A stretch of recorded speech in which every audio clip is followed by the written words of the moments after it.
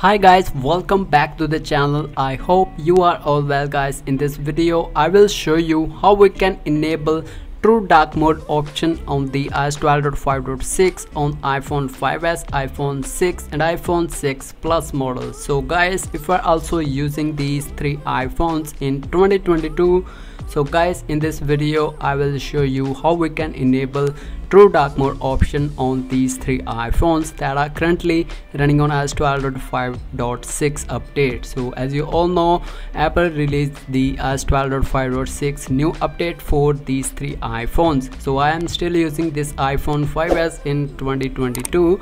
So guys, you can check out this software version that I am using on the iPhone 5s is 12.5.5 and the model name is iPhone 5s so as you can see I have enabled the true dark mode option in the control center. When I enable the dark mode option you will see when I open any of the application on the iPhone 5s you will see in every app the dark mode option will be available.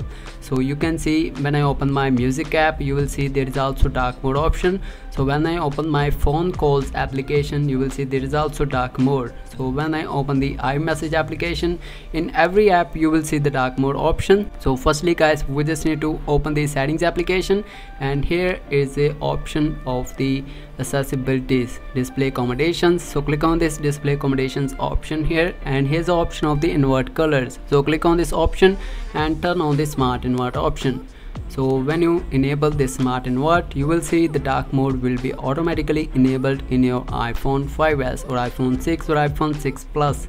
So when i open my photos app you will see there is also dark mode available. So as you can see the dark mode option is now completely working on my iPhone 5s you will see when I open every app in the iPhone you will see the dark mode option is enabled. So this is the easiest way to enable the dark mode on the older iPhones that are currently running on iOS 12.5.6 update. So I hope you guys find this method helpful.